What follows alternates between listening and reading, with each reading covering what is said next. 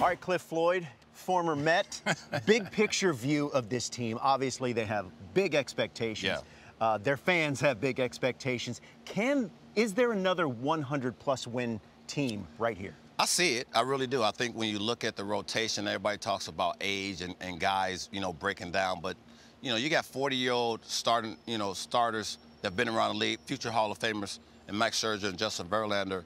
But I think overall, um, that's not the biggest the biggest question. I think the biggest question is um, offense scoring enough runs, Yeah. and then the bullpen. I think the bullpen's gotten a lot better. So that in itself elevates this team to a position where if you can if you can like bridge yourself to Edwin Diaz, you got a big shot to win a lot of games and a lot of games late. Now, one other thing that uh, you, you won't see it here, but at Citi Field, they're moving the fences in. Yeah. In right center field, about eight feet. As a as a left-handed hitter, as a former hitter, what, I what do you think about that, about that at Citi Field? I'm 100% in.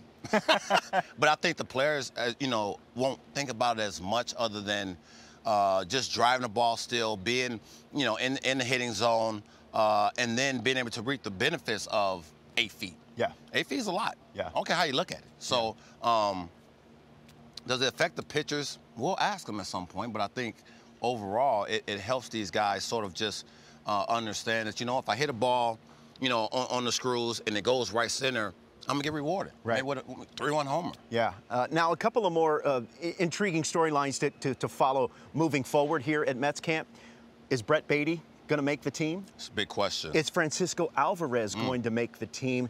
And and Tommy Pham as, as a fourth outfielder, what what is that going to look like? you Well, I think the big thing is getting them enough bats in the, in the situations for them to be really productive. Yeah. Um, that's important, especially for a role for a guy who's been in the league, uh, who's played a lot as a starter.